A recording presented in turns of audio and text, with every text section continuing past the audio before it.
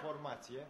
Îndrumat de profesorii Mircea Beuran, directorul Spitalului Florasca și Mihai Lucan, de la Institutul Clinic de Urologie și Transplant Renal din Cluj-Napoca, premierul n-a avut o sarcină deloc ușoară. A trebuit să scoată semințele unui gogoșar fără să distrugă leguma. Și chiar vă rog să scoateți o puneți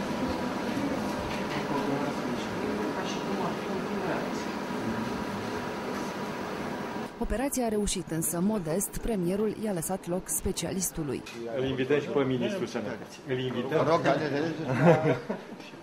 specialitate. Premierul Emil Boc a testat unul dintre cei doi roboți Da Vinci din România, echipamente care se află la Floreasca și Fundeni.